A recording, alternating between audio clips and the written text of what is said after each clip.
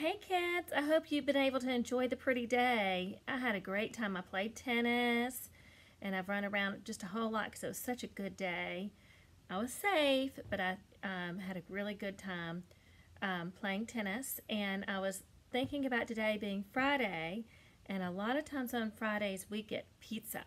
So I have this great book called Tony and the Pizza Champions. So um, I want y'all to, to think about this book and think about what your favorite pizza is and get your parents to tell me. So I want to hear back from all my little friends. I know I've got a bunch of y'all that are watching now. We've got Charles and Miles and um, we've got Caroline and Hayes and Ren and William. So lots and lots of friends are watching now. Um, and Sam and Evie, I saw you today, Sam. I, am sorry I was on the phone when when we were right when I um, saw you on the bike. Okay, ready? Tony and the Pizza Champions.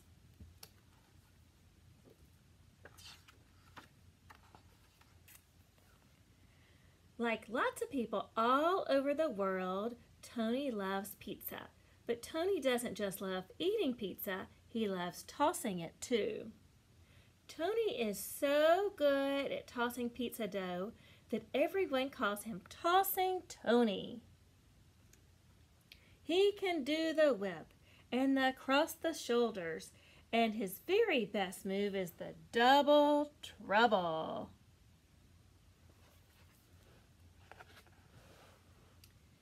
Tony's friends love tossing pizza too. Tony's friend Ken can do a move called the whirlwind. He tosses so fast that his friends call him Quick Ken. Tony and Ken work at the same pizzeria in California.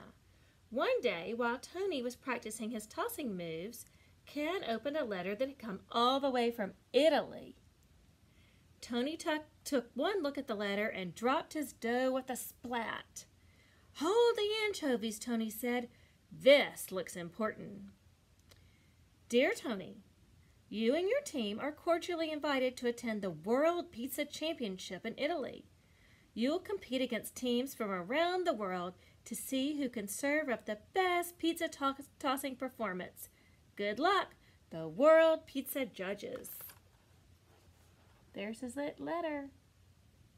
You see the stamps coming from Italy?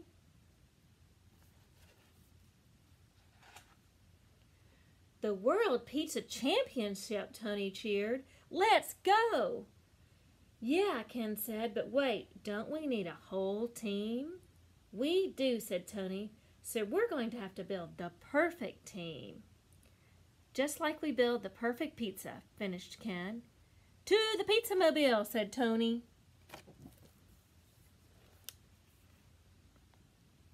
Ray, do y'all have a pizza mobile? Because we do not have one.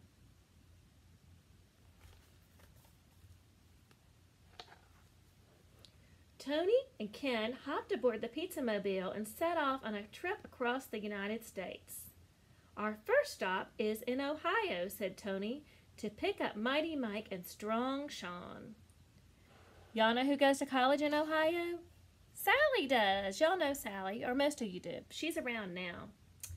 California is the home of the first pizza made with barbecue sauce instead of tomato sauce. In New Mexico, people put spicy green chilies on their pizza. In Philadelphia, some people wrap pizza slices around cheesecake sandwiches. In Texas and other parts of the Southwest, people like to put pizza in ranch dressing. That's pretty good. In Connecticut, restaurants serve pizza with clams on top. In St. Louis, a mixture of white cheddar, Swiss, and provolone cheese is popular instead of instead of mozzarella. In Rhode, in Rhode Island, you can order pizza that's cooked on a grill, just like hamburgers. In Florida, people like to top their pizza with banana peppers. Helen likes that. Um, sweet peppers that are yellow like bananas. The first pizzeria in the United States was opened in New York City in 1905. So here they go in the pizza mobile all around the country.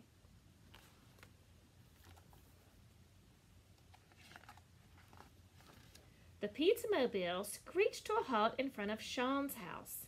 Someone was on the front lawn spinning a huge circle of pizza dough.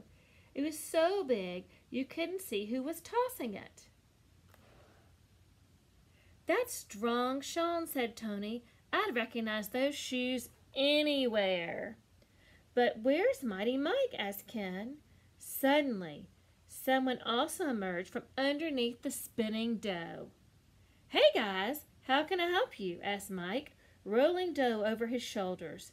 That was Mike's favorite move, the rapid fire.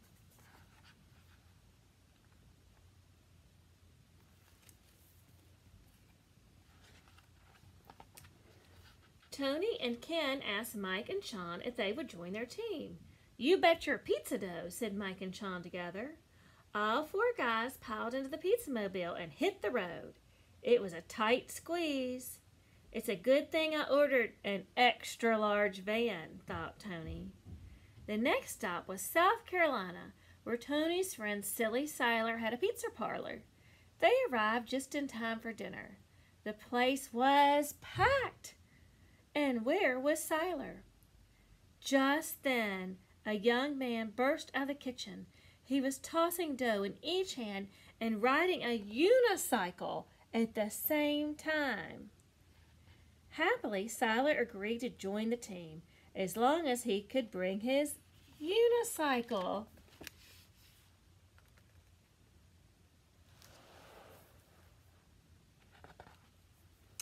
The last stop was New York City, home of the first pizzeria in the United States and the home of famous Joe. When the guys arrived in the city, Joe was ready to go. That's one of the things famous Joe is famous for, said Tony. He's got great timing. Famous Joe is also famous for doing the sky high. He can toss the dough high into the into the air, catch it in one arm, and roll it across his back to the other arm. Can any of y'all do that?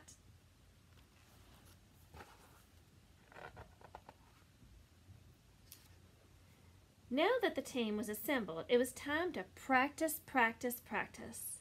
After hours of tossing, the guys were really tired, but it had been worth it. Now they had an absolutely unbelievable totally incredible routine. It was so good that it was top secret.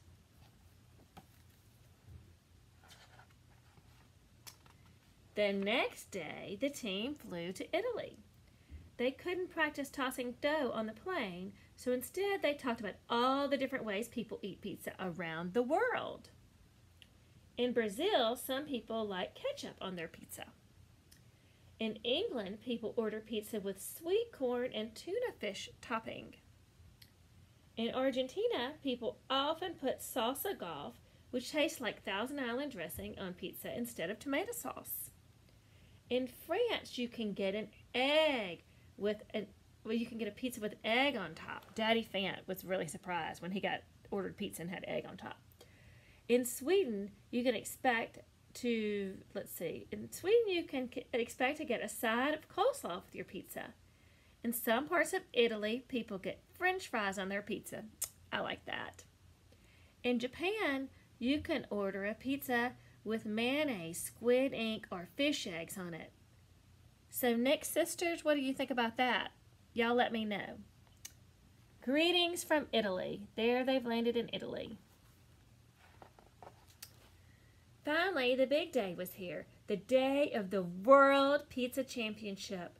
When Tony and his team arrived at the competition, dough was flying as teams from around the world showed their skills. The team from Japan tossed dough in a great circle behind their backs, over their heads, between their legs, into their heads. Next up was Austra- the Australian team. They formed a long line, one by one, tossed the dough in the air, jumped over the person in front of them, and caught the dough before it fell. They looked like a mob of pizza tossing kangaroos.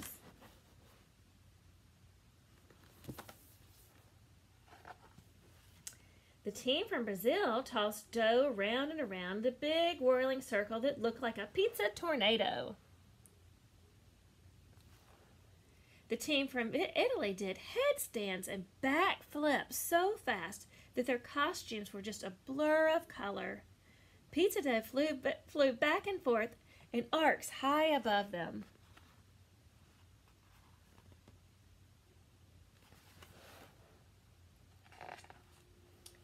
At last, it was time for Tony's team to perform. They all wiped the sweat from their brows and tried not to think about the competition.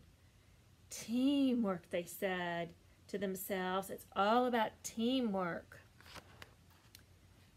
First, Ken stepped forward, spinning around and tossing dough behind his back so quickly that it looked like a twirling ice skater. Then Mike joined him, pulling dough across his shoulders as fast as he could. Then famous Joe put joined in, tossing dough way up high and quickly catching it on his shoulders. Tony was in the very front performing his best move, the double trouble.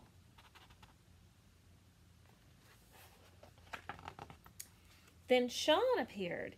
He he lined up with Mike and Ken, and then they lifted Joe and Tony onto their shoulders. The only one missing was Silly Siler. Where was he? From off in the distance, a, sh a shape came. I'm sorry. From off in the distance, a shape came speeding toward them. It was Silly Siler on his unicycle. He was juggling two circles of dough on his, as he rode closer and closer. Suddenly, Siler jumped off the unicycle and leaped high into the air. He landed right on Joe and Tony's shoulders. Everyone held steady. They had done it. They had formed the Pizza Pyramid.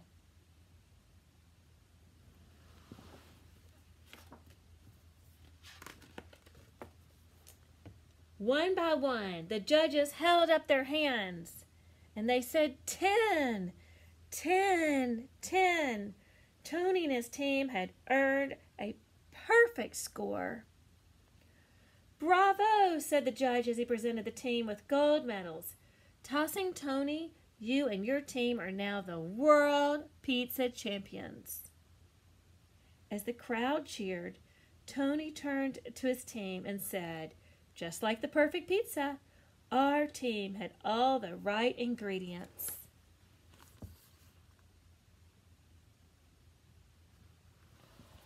So, what did y'all think of that story?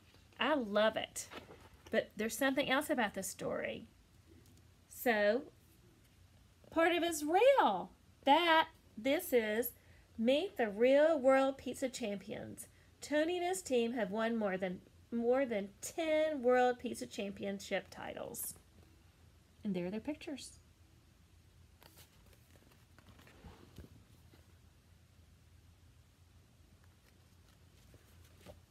Okay.